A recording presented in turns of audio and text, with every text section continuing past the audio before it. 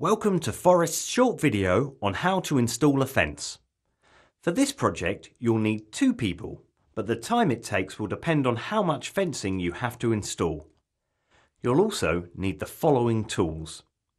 A string line, a spade, a fence post, some hard core or gravel, some post mix cement, a spirit level, timber battens, fence panels, gravel boards, post caps, finials if desired, U brackets, L brackets and screws. Take a spade and dig a hole about 600mm deep and 300mm square. The actual depth will depend on the height of the post you are using. As a rule of thumb, you should have a quarter of the total post height in the ground. If the ground is really difficult to dig out, it might be worth investing in a bar and specialist post hole spade. You can buy these at most merchants. When the hole is finished, fill the bottom with about an inch of gravel or hardcore. This will help with drainage and reduce the risk of the post rotting in the future. Put the post into the hole. Gradually fill the hole with the dry post-fix cement, packing it down while continually checking the level of the post with your spirit level. Fill the hole to about an inch from the top. This is so that when the job is finished, you can cover the top of the cement with soil. Pour water over the cement.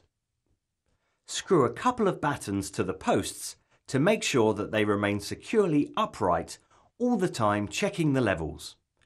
These battens can be removed when the cement has set. Once your first post is in, you're now ready to mark out the line of your fencing. Using a string line, unwind the string and passing it in front of your post, take it where you want the fencing to end and stake it into the ground. Now you're ready to fix your next post.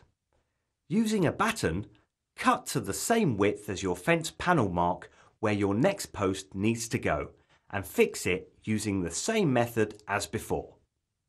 If you're installing a dip treated fence panel, you will need to use a pressure treated gravel board at the base of the panel to protect it against rot. Fix the gravel board by first marking and pre-drilling the posts. Then fix one L bracket at the base of each post using a drill or electric screwdriver. When they are just about tight enough, you'll need to locate the final position of the brackets by hand using an adjustable spanner.